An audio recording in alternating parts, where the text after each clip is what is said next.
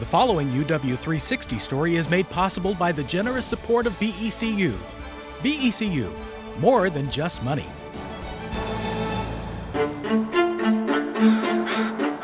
They're in our parks, They're always gauging us. our campuses, So are we going to give them some food or are we going to be a threat to them?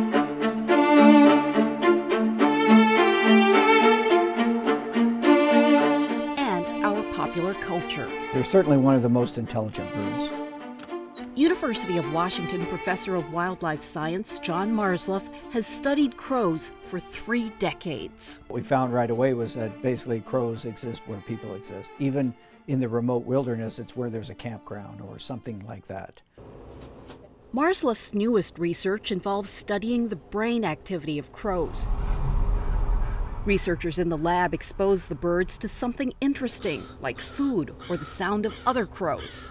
This bird was looking at food and hearing about food, and so I was noting how often it craned its neck and looked around.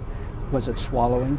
Did it move its position, which it did a couple times and swallowed a lot, so it seemed very motivated by the food.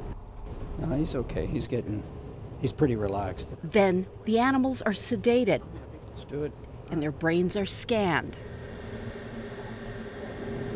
Really moved his tail when the door opened. So far, it's demonstrated that they're using the same structures in their brain to recognize threats and rewards as we would.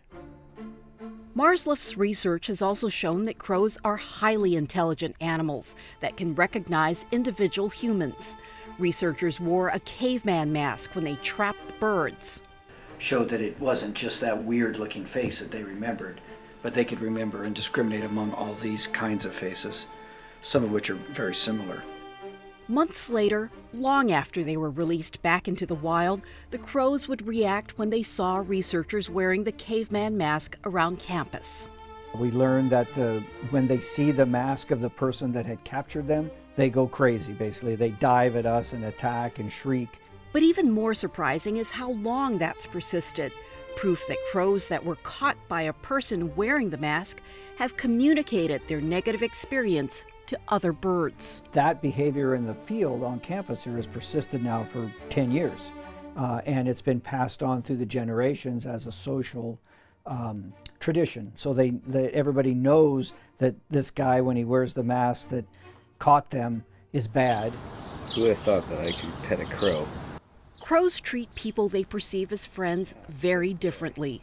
A crow in Vancouver, BC, that was raised by humans has its own Facebook page full of friendly encounters. Just uh, me and my crow. Just hanging out. Yeah.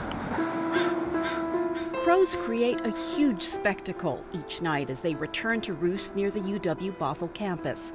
In the winter, before the birds build nests in neighborhoods, 10 to 15,000 of them nest at the Bothell campus where they find safety in numbers. That ability to, to, to work together, now they come together to work cooperatively at night to, um, to survive a dangerous time for them each night. That's a pretty cool behavior, and, and not many birds do that. He was doing that when he was looking at the food and things like that.